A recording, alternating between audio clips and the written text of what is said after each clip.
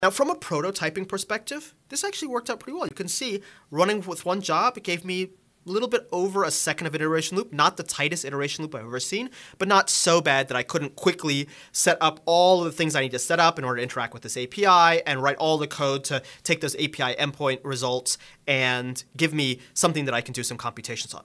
The problem is if I remove this break here and this break here, and instead of looking at just the very first succeeded job and the very first succeeded result for those jobs, I look at all of the succeeded jobs and all of the job results. This thing is kind of slow.